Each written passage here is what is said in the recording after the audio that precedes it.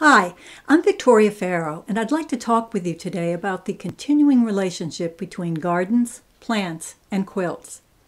I've been a quilter for many years and have recently become especially involved with gardening through the Kentucky Cooperative Extension Master Gardener Program.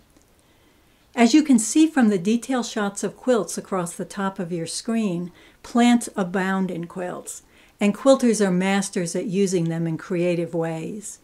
In this presentation, we'll take a look at the different ways a quilter might depict a plant in a quilt, and then look at samples of quilts featuring specific plants and their flowers. Whenever possible, there's also an image of the flower for reference. I'll give you time to enjoy the images on each slide, but remember that at any point in this video, you can hit the pause button to spend more time enjoying a quilt. In art, we often depict what we know. These Hmong story quilts or story cloths made in Laos are filled with plants, gardening, and harvesting vegetables and grains because their makers live in a largely agrarian society.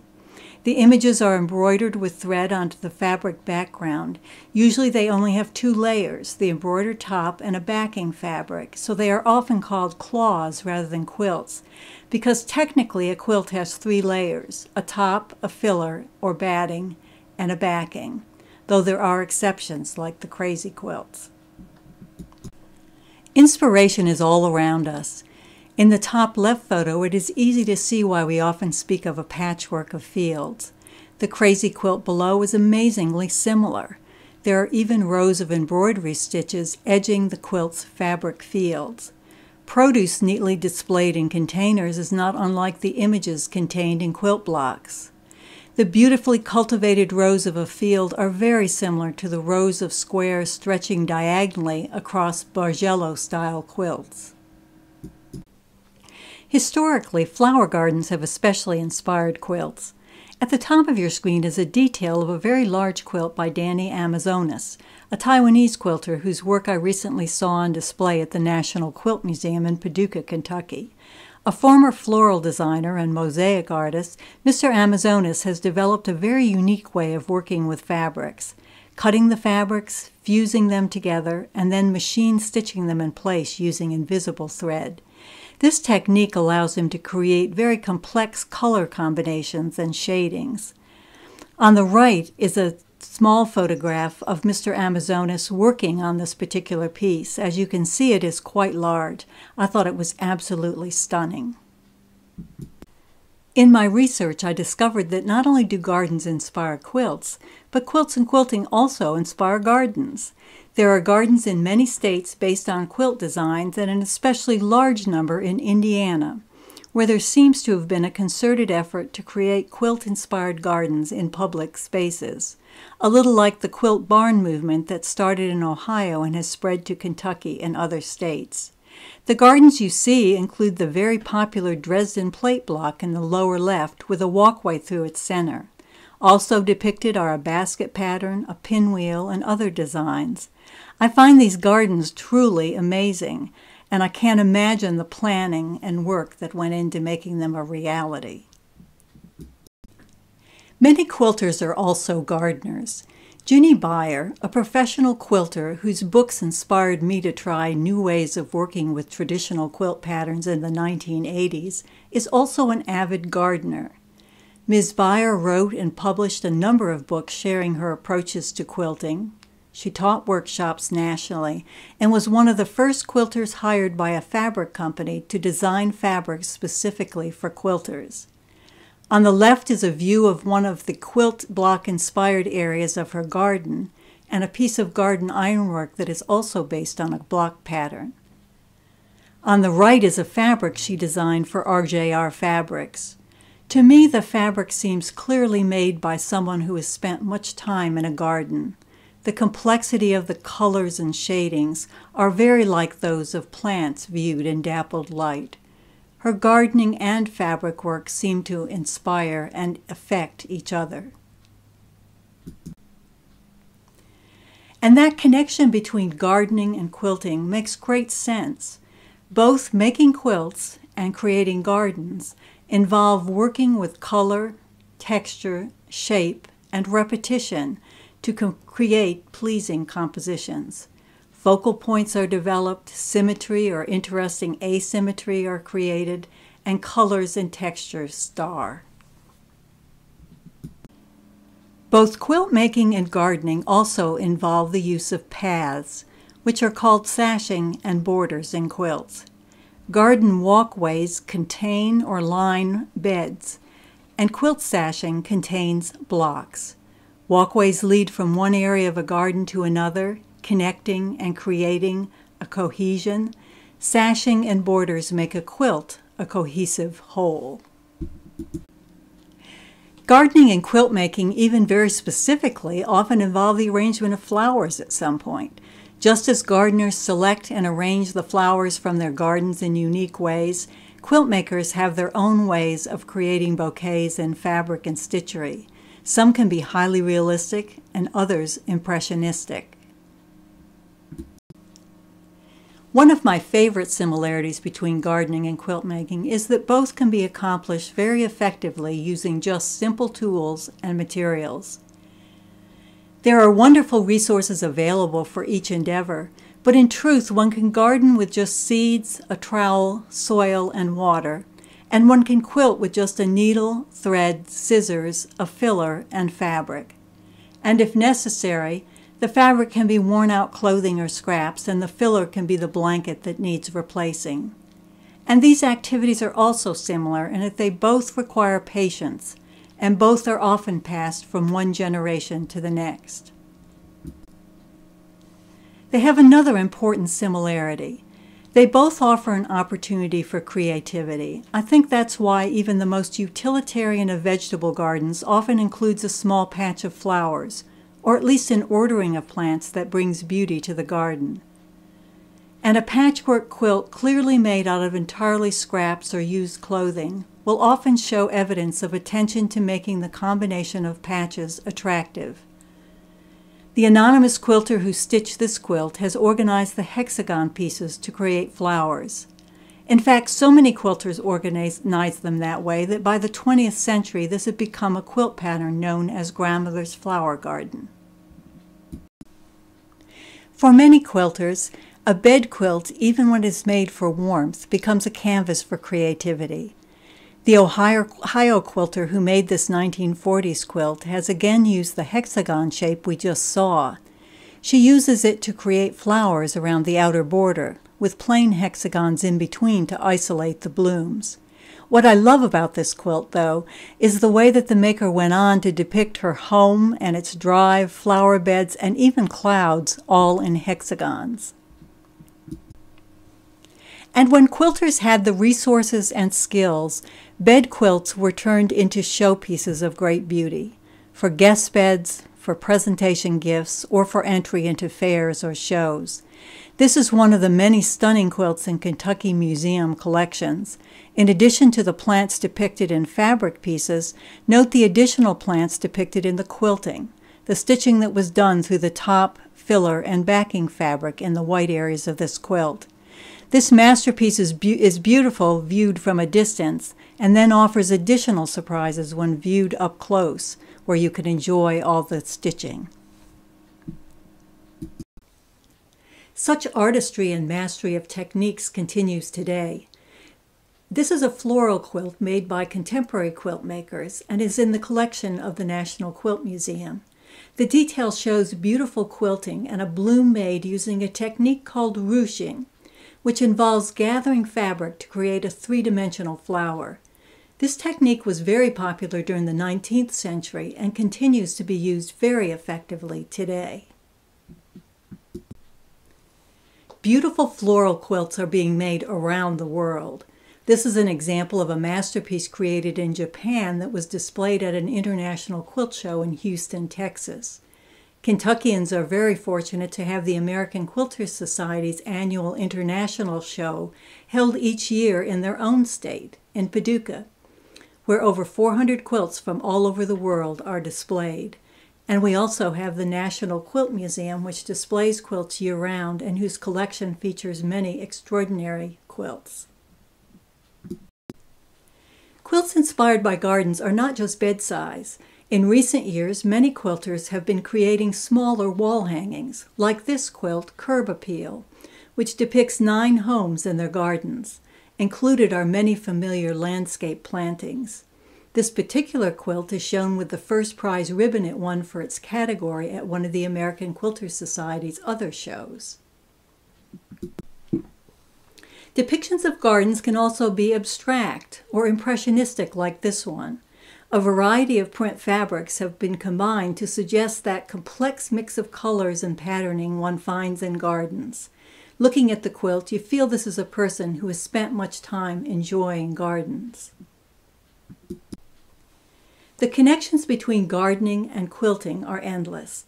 These are just a few of the many quilt books that recognize and further that connection. I love the subtitle for Quilter's Patch, which says Grow Your Quilt Garden, block by block. Before looking at more examples, I thought it might be helpful to look at how a quilter might work with an inspiring flower, like the iris. The older I become, the more I seem to enjoy my old and new fashioned bearded irises. One way to bring the iris to a quilt would be to select a fabric depicting the flower. There are many beautiful fabrics available today with all sorts of images, including flowers such as the iris, some quite realistic and others less so. All dramatic, though. Including large floral images in fabric is nothing new. Across the top of the screen are 18th and 19th century chintz fabrics that clearly represented specific blooms. I was lucky to find examples of some of my favorite flowers the iris, the coneflower, the bleeding heart, and the blackberry lily. These fabrics, initially imported from India, were especially popular for quilts in the late 18th and 19th centuries. Quilters would often cut out the specific images and stitch them to a background. The technique was called broderie perse. This is an example of an 1830s broderie perse crib quilt. The swags of blooms were cut from a chintz fabric and sewn on top of the off-white background, as were the leaves and bouquets around the edges. The chintzes could be very expensive, so using them in this way was often a way to reduce expense. The images could be spread out on the background so less yardage was needed. The workmanship in this quilt is so good that it can be difficult to comprehend that the flowers were applied to the background. Another special type of applique can be used to depict an iris, Hawaiian style applique. For this, two fabrics are used, one to create the design, in this case an iris, and the other for the background, in this case an off-white. The design is created the way that, as children, those of us who grew up in snow country, cut snowflakes out of paper by folding a sheet multiple times, cutting a design, and then opening out the paper. In the upper left is the pattern.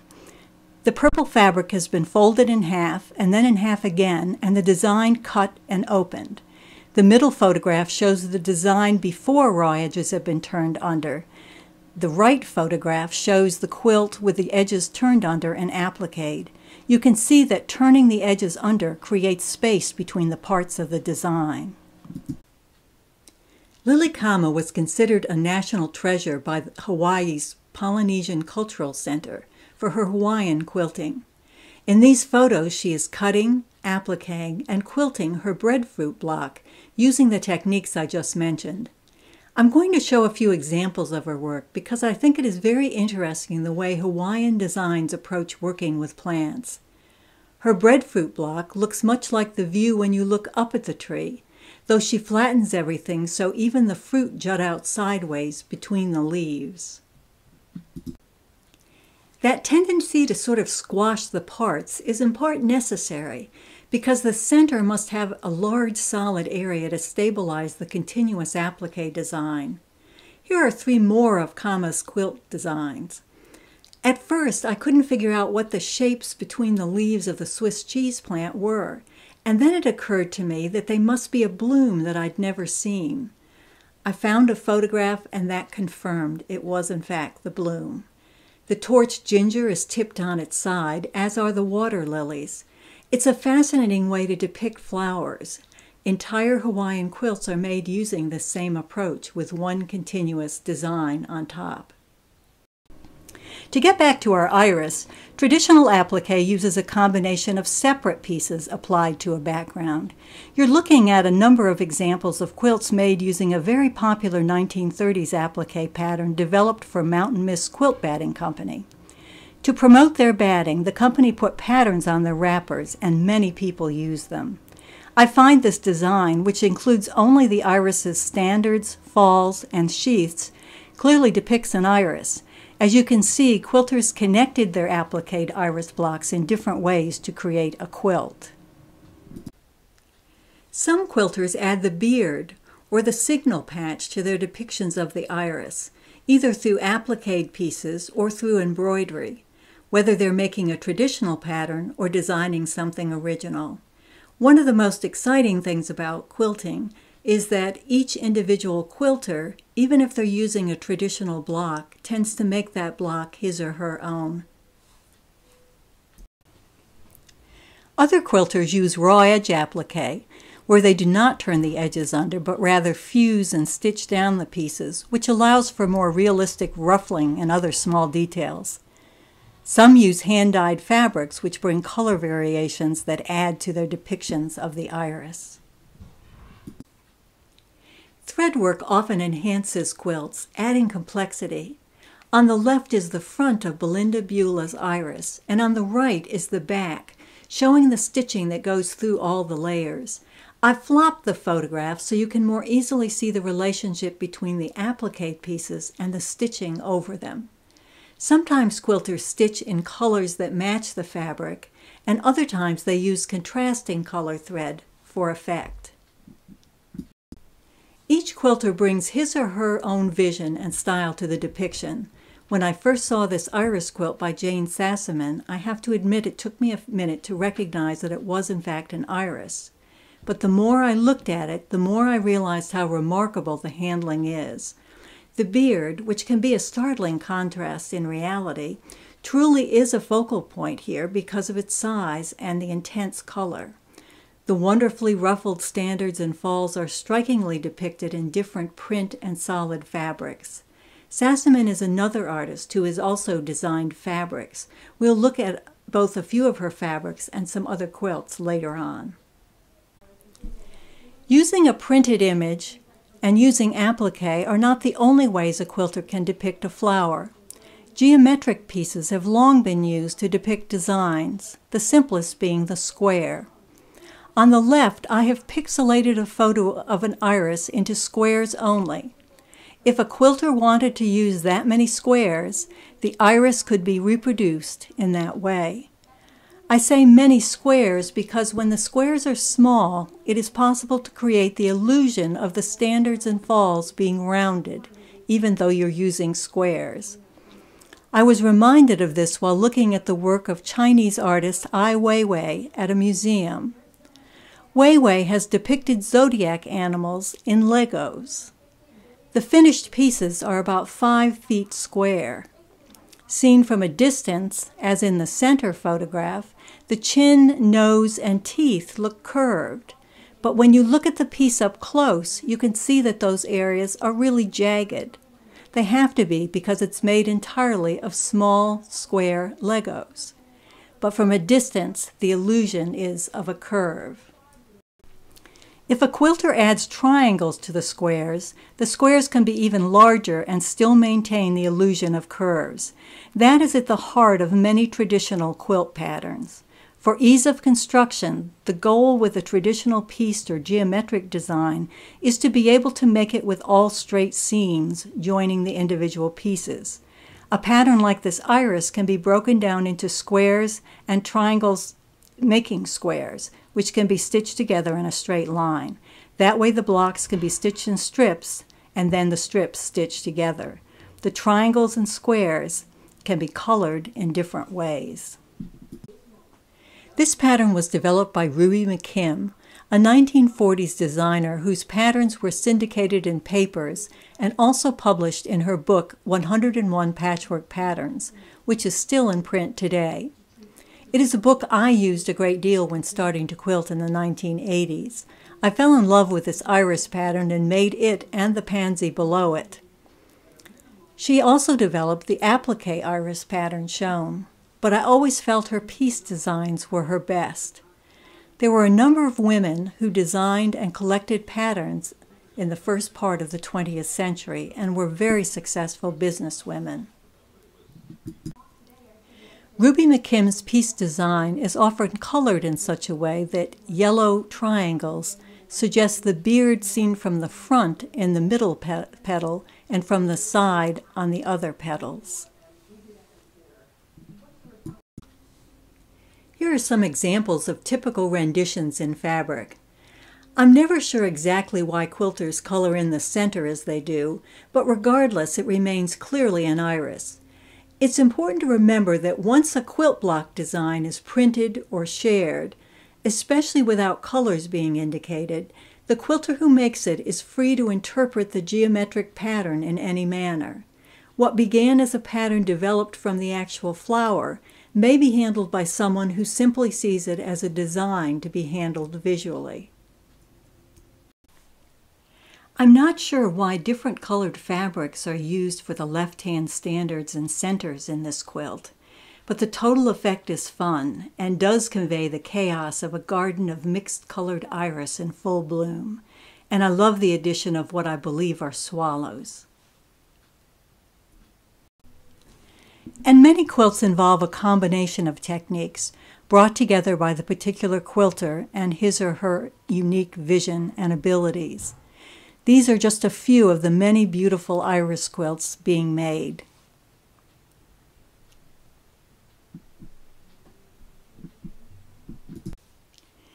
Let's now take a look at some quilts inspired by other plants. This is by no means a comprehensive look at what is being done in today's quilt making. It is a look at a range of examples I'm aware of. It was actually very hard to select just this number. I have a whole folder filled with quilts that I wanted to include, but that would make the presentation too long. Hope you enjoy what follows. This Oriental Poppy pattern is another favorite Ruby McKim pattern. I love the way it looks when the blocks are set solid, meaning set without sashing or plain blocks between the poppy blocks as they are in the diagram you're looking at. It is an example of a block that is mainly geometric piece shapes, but also has applique used for the stems and leaves. I love the stylized block, but never especially thought of it as a great representation of a poppy until I looked at photographs of poppies and realized that a pair of petals really do hang lower when you look at the bloom head on, so it actually is quite representative. This is another variety of poppy depicted in a quilt by Ruth McDowell. I mentioned that many quilters are gardeners, and McDowell is a great example. She's a quilter whose work really influenced my quilt making. It was in viewing a piece of hers that I came to realize that large print fabrics could be used to add texture and line in a piece design. The striped fabric she uses in the center of these Iceland poppies and for the petals beautifully capture the flower's qualities and the large print poppy fabric used in the border gives a real sense of these blooms being amidst a bed of blooms. This is another variety of poppy, the California poppy, beautifully depicted by Carol Morrissey, entirely in applique, using solid color fabrics. I love the way each quilter approaches flowers in a different way. This is another quilt by Carol Morrissey, created using applique but in a very different style. This is one of several quilts she has made using only appliqued circles. The title is Six Roses, and if you look at it from a distance, you can see six stems leading to rosebuds. The image is closely cropped, so you don't see the full buds. In antique quilts, we often find roses appliqued, often in wreaths, like in this 19th century Kentucky quilt in the collection of the Speed Art Museum. Probably the most common traditional quilt patterns with rose in their name are appliqued Rose of Sharon patterns. There are many variations of this pattern, and many beautiful quilts have been made with it in the past and today. Lilies are another flower that often appear in quilts, sometimes in a generic way, and at others as very specific types.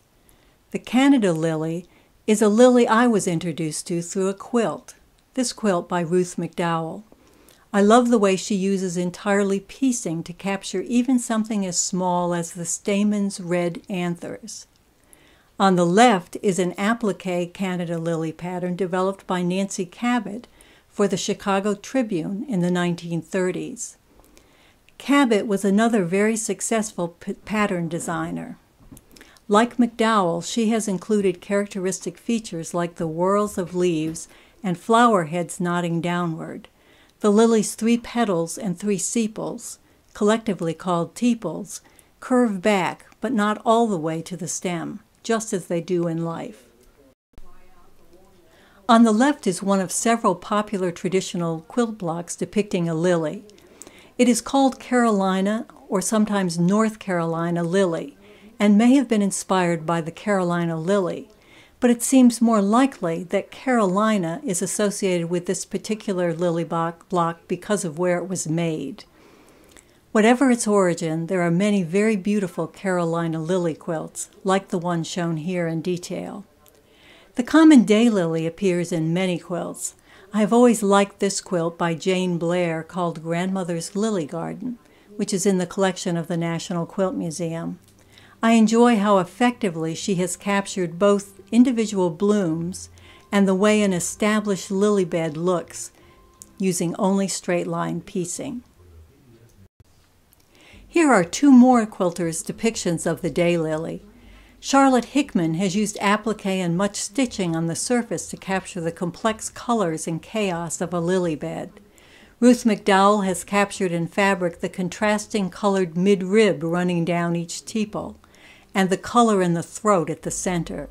She also uses a printed fabric that almost looks three dimensional to add the slight ruffling that often appears along the edges of the tepals. She creates the chaos of leaves so often in the background of a garden through the use of striped fabrics. Asiatic lilies are also found in quilts. This quilt made by a Japanese couple depicts their family all together in a garden of lilies. Using fused raw edge applique stitched with invisible thread, these quilt makers have beautifully captured the vibrant colors of the spotted blossoms, the fleshy stems, and the blade like leaves of the Asiatic lily. Spring and spring flowers inspire many quilts. This quilt features trillium, crocus, fritillaria, and grape hyacinths. When I first saw the quilt, I immediately recognized everything except the fritillaria. The only blooms I was familiar with that were that size and had pendant or nodding bell shaped flowers were snowdrops, which are white. But a friend posted a photograph of a fritillaria in bloom, and I realized that that's what they were. The fabrics Schwartzman has selected for them are perfect for recreating the tessellating patterns these blooms can display. This is another spring inspired quilt by Jane Sassaman, whose iris we saw earlier. The quilt features bloodroot, trillium, jack in the pulpit, and emerging plant shoots, all beautif- beautifully colored and in Sassaman's unique style. These photos give you a sense of how Sassaman creates a quilt like this. Individual elements like bloodroot leaves and flowers are assembled, and she then puts sections of the quilt together. The composition is very complicated with many elements overlapping each other. The jack and the pulpits are suggested by spirals like the white pattern piece positioned in her design area. And once again, this is the completed quilt a jumble of spring blooms with new plants shooting up in the lower left and upper right corners. Here are several more of Sassaman's quilts. Just as in her earlier iris quilt she made the beard a focal point, she draws one's eye immediately to the dramatically veined petals in her Johnny jump ups. In the Columbine quilt, she has turned the curving spurs or modified petals of the flower into dramatic spirals and captured the brilliant contrasting yellow of the anthers. I mentioned earlier that Sassaman also designs fabrics. Here are fabrics she has designed based on the bleeding heart, the jack in the pulpit, the dandelion leaf, the primrose, and field clover. Each is a fascinating treatment of the particular plant. Terry Kramser is inspired not just by spring, but by plants she finds in a specific place, her walks along the Mid Atlantic Appalachian Trail. These are two quilts she has made depicting the mayapple or wild mandrake plant. She has beautifully captured its twin umbrella like leaves and solitary flowers. Note the background, which is entirely squares with a second small square in the center. The result is a complexity of color and pattern like that we find in nature. These are two other quilts by Kramser. The left hand quilt depicting Bloodroot was likely also inspired by her walks along the Appalachian Trail. She has nicely captured the lobed basal leaves, thick stems, and many petaled white flowers.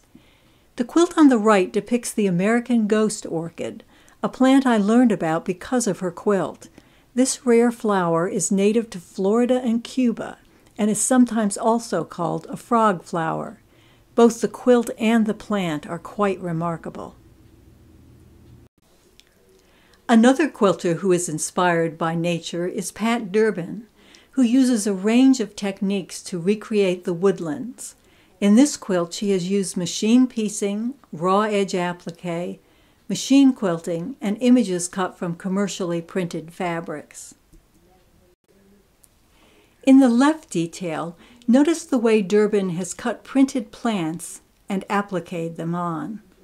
Also note in the right detail how in other areas she has created branches of leaves using solid fabrics, adding even a hole in one leaf. Notice the various fabrics combined to recreate the tree trunks. Machine stitching ties it all together.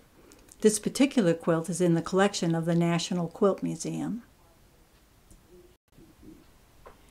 Trees, and especially their leaves, have inspired many quilts. On the left are renderings of several traditional pieced maple leaf blocks, many of which appear to be based on the sugar maple. On the right is a contemporary quilt based very specifically on the Oregon maple. Note that Lisa Jenny has included prints of additional leaves and a seed cluster in the background. It looks as though she might have actually printed the background fabric using real leaves and seeds and then enhanced the details. A number of quilters do use actual leaves to print images on their quilts. The National Quilt Museum has a quilt entitled, titled Hammered at Home by Iris Aycock. As you can see, Aycock has used a large single empress tree leaf at the center, surrounded by sweet gum leaves. She has next added a border with kiwi leaves in the corners and ferns that I believe are sword ferns. Around the outside, she has printed tulip poplar leaves and more kiwi plant leaves. This technique, often called Cherokee leaf pounding, involves taping a leaf to fabric, turning the combined pieces over fabric side up, and literally pounding with a hammer to drive the color from the leaf into the quilt. Aycock then used fabric pens to add details to the leaves and hand dyed the solid borders. Even weeds can be inspiring for a quilter. I have to say that personally I find the dandelion a pretty spectacular plant myself. Kate Themel approaches quilting in a very painterly way, building up the image with fabric and then adding stitching for detail. She has used wonderful stitching to depict the magnificent seed head that drives people crazy. Joanne Webb has focused on the striking lobed leaves of the dandelion, depicting the plant's basal rosette at the center of her quilt. Caryl Bryer Fallert Gentry, who lived in Paducah, Kentucky for a number of years and has recently moved to Oregon, has created an entire quilt focusing on the dandelion.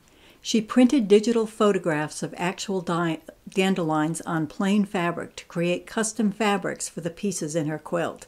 This is an unusual approach for Fallert Gentry. Her quilts are often organic, not depicting specific plants, but very plant like. She is most known for her extraordinary machine quilting. The photo shows her working on a quilt. A quilt of hers won the coveted Best of Show award at the American Quilter Society International Show in Paducah in 1989. It was the first machine quilted quilt to win a significant international award. There were many objections at the time, but machine quilting has since become an art in itself, and there are now entire categories for it in large quilt shows. This is another quilt in which Fallert Gentry celebrated what many would dismiss as a weed. Her use of color and line bring wonderful drama to the dried seed pods of the buttonweed, a common plant in the mallow family. The sunflower is another plant that appears in many quilts. These are two examples of patterns shown in 1940s quilts. The left-hand quilt is appliqued and features the disc-like flowers growing from the edges of the quilt. The piece quilt on the right also includes applique for the stem and leaves. The flower heads droop as they often do in life. Sunflower leaves are usually much more finely serrated, but these leaves work well in the design. Sue Benner has completed a series of quilts featuring the sunflower head in all states of its growth. She uses fabrics and thread to make the heads equally exciting, whether the flower is in full bloom, fading, or almost at its life's end.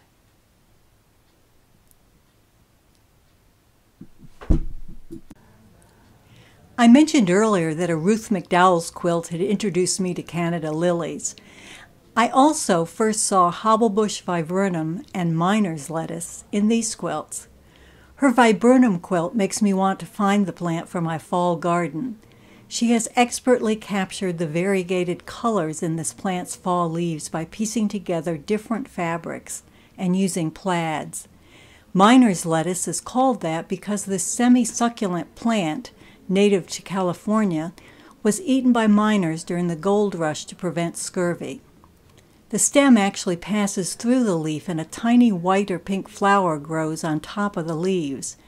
McDowell has stitched small buttons to the center of the leaves to suggest the flowers. I have also learned about some tropical plants through their depictions in quilts. Ruth DeVos, an Australian quilter, has been inspired by native plants including grevillea, an evergreen flowering plant with a flower that is actually petalless. The flower is a calyx tube that splits into lobes, called tepal lobes, that curl toward the stem and have anthers at the end. Attached at the base are long, thin styles with pollen presenters at the end. The styles can be so fine and numerous in some varieties that the plant is sometimes called the toothbrush plant. All these parts are captured in, in DeVos's quilt. She has also depicted the Banksia, a wildflower in Australia. A Banksia spike contains a multitude of flowers. Shown is a spike that is not yet mature. In the detail, you can see how the style loops back. As the plant matures, the styles flip out, starting at the bottom of the spike. DeVos has represented the multicolored styles with strips of fabric and quilting to suggest texture. I have found that eucalyptus leaves and flowers are often depicted by Australian quilters. I think DeVos has used applique very effectively to capture both the leaves and blossoms in these two small quilts.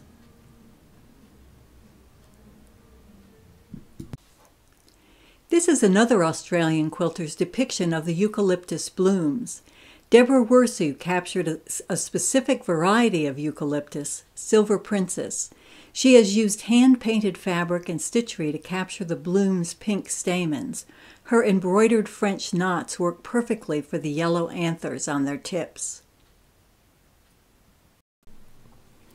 Stitchery is the primary technique used by Barbara Hymes to capture another favorite flower, the hollyhock.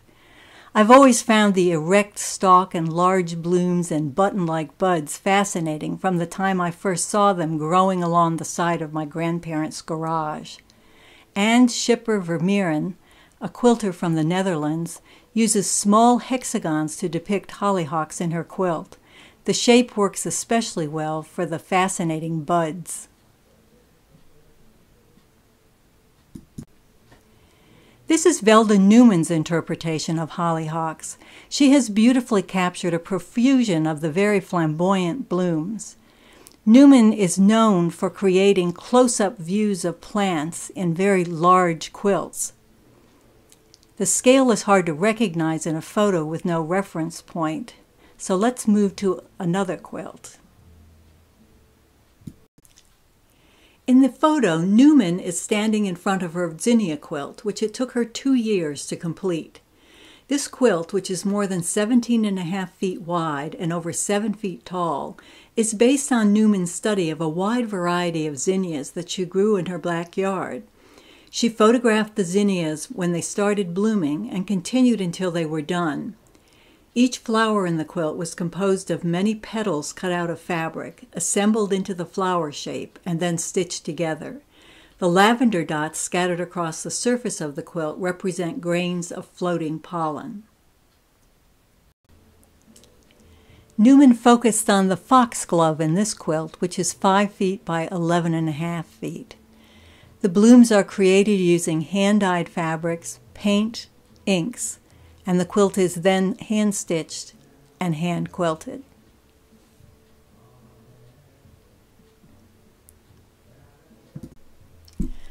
A profusion of pendulous wisteria are captured in this quilt by quilter Anne Schipper Vermeeren, the Netherlands quilter whose hollyhock quilt we looked at earlier. Here again she's using tiny hexagons to capture the blooms. Peonies appear in printed fabrics and in quilts. This is a second floral quilt of Danny Amazonas I saw at the National Quilt Museum during his exhibit. I've included a detail to show better the way he uses a multitude of fabric pieces to effectively capture the mass of stamens at the blossom's center. We'll look quickly at just a few of the other plants depicted in quilts. Here's a parrot tulip by Llewellyn Morgenthaler. Camellias are the subject of this quilt by Melinda Bula. I've included a detail that shows the way she has used a combination of fabric and stitching to capture the blossom and its dense, brilliant yellow stamens and the glossy leaves. Fuchsia is captured in this quilt, which was painted and then quilted.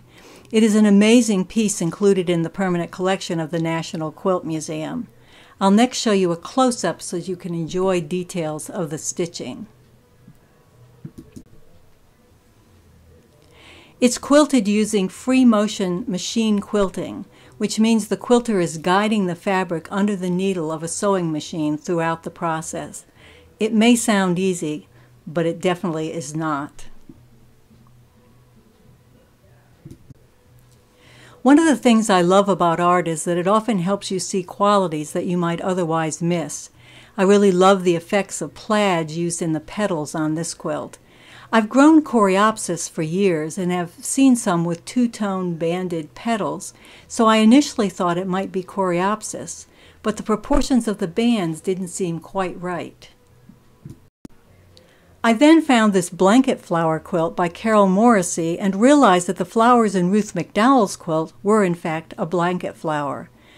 I had grown blanket flowers last year, but never really focused on the forked nature of the petals until I saw them made a focal point in this quilt.